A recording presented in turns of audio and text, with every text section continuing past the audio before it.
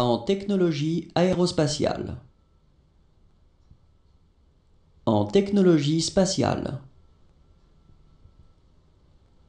En technologie informatique. En technologie de la communication. En technologie de l'information. En technologie de l'automation. En technologie des combustibles.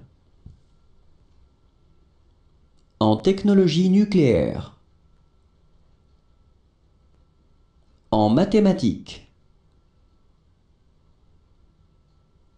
En sciences naturelles. En biologie. En chimie. En physique. En sciences de la Terre. En sciences sociales. En sciences comportementales. En sciences appliquées.